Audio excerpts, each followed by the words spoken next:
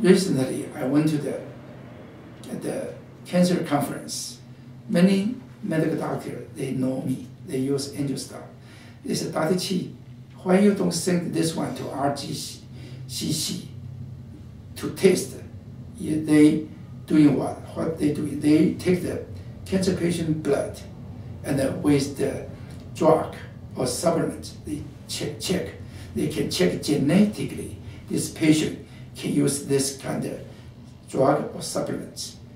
Then that group, by chance, is there. They come to me and say, Dr. Which one you like to go? I say, Angiostop. He right away say, you don't need to send. Many people send in already. They show me they inhibit the, the IGFR, EGFR, FGFR. So they tell them, if you can do that, your caspase-3 is induced. Caspase-3 is, is special protein that control, make your cancer apoptosis. So I really suggest you to look at our newsletter. It's very good information.